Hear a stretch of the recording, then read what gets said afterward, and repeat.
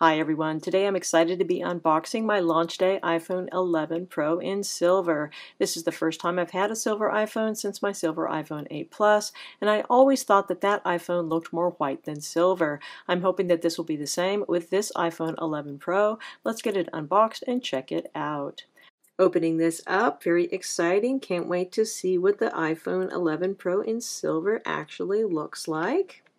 And the answer is to my eye, this looks way more white than silver, although we'll have to take a closer look. First off, let's look at the contents of the box. We got our sheaf of Apple regulatory information and general info, and then we have our lightning EarPods here. Not exactly exciting, but useful to have around. And then we have the very exciting 18 watt fast charger. This charges via USB-C, so we need a different type of cable. This is a lightning to USB-C cable.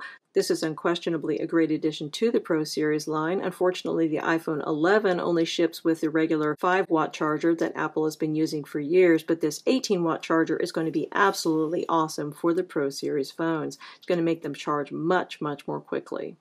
As I noticed in my iPhone 11 unboxing earlier today, Apple has decided to change from having a plastic protective sheet on both sides of the iPhone to only on the screen. Not really quite sure why that would be, whether it's because the back glass is now so tough it doesn't need the extra protection, or just because they're trying to be more eco-conscious. At any rate, just one sheet of plastic to peel off here.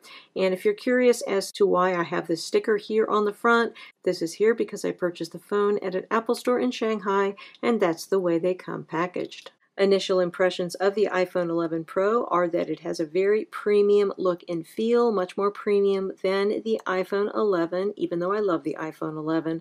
The stainless steel sides are so highly polished, they definitely give this a higher end look, and this is also a weightier phone, which makes it feel fancier as well. Not sure whether the weight is just because of the stainless steel versus aluminum sides on the iPhone 11 or because the camera is weighing more or something like that. But uh, overall, the impression that you have when you're holding it is that this is just a very premium product indeed. Everything just looks and feels beautifully made. So we have an extremely bright screen on here. This is even brighter than the screen on the iPhone 10s and 10s Max. You have more nits of brightness, whatever those are. Not really quite sure how that works. Other than that, in terms of the screen, it's very similar to what we saw on the 10S and 10S Max. The same size bezel, the same size notch. We do have an improved front camera on here, and this one is capable of doing the slow motion selfies or slowfies if you ever wanted to do that. I can't imagine that you would, but if you did, this will do that. You also have the ability to include more people in a selfie shot using your front facing camera. If you turn this to the side, you automatically get a wide angle shot, so that is a nice feature. Going to the back, we have a beautiful expanse of silvery white matte finished glass. This has a lovely feel underneath the fingertips, feels lovely and smooth. It's also going to be very good in terms of resisting fingerprints, much better than the glossy glass back that you have on the iPhone 11s, although I think overall this is perhaps a little slipperier in the hand, so you probably should use a case with this phone. So we have this matte glass, as I mentioned here, on the majority of the back, and then on the area around our camera bump, this is finished with a glossy glass. So it is a little bit different. It's actually the exact opposite of the arrangement that you have on your iPhone 11, where you have a glossy glass back and then a frosted or matte finished area for the camera bump. So I think that they just wanted to mix things up a little bit, have a different look for the two types of phones. So speaking of your camera bump, a lot of people were worried this was going to look awful, but actually I think that Apple's done a great job with this. As you can see, our camera lenses protrude only very slightly from the back of the phone. This is much less than cameras that we had on the iPhone 10s Max, iPhone 10s, etc., 10R. This just barely protrudes, so it, It's actually a two-level arrangement here. You have the glass protruding very slightly from the back of the phone and then the lenses protrude very slightly from the glass. But overall this is done quite nicely.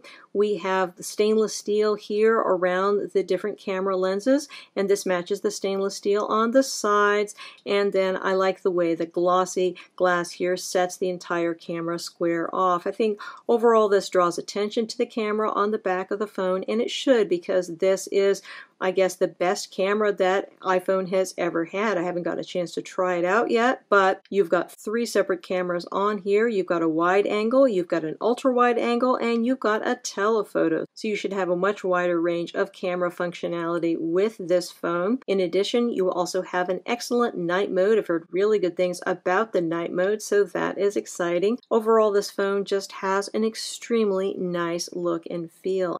The iPhone 11 Pro is unquestionably a premium phone. You've got a premium look and feel, you've got premium features, and you have a premium price. So this is going to set you back at least $300 more than the iPhone 11 and it really depends from person to person whether that price differential is justified. So you may be able to justify this if you are really into photography. This does have a superior camera array and you're going to be able to enjoy photography more with your iPhone 11 Pro. And also if you are really into screen quality, then perhaps the OLED screen of your iPhone 11 Pro is going to be worth the extra money that you're going to pay for it as opposed to the lower end screen that you have with the iPhone 11. The answers to these questions, of course, are going to vary from person to person.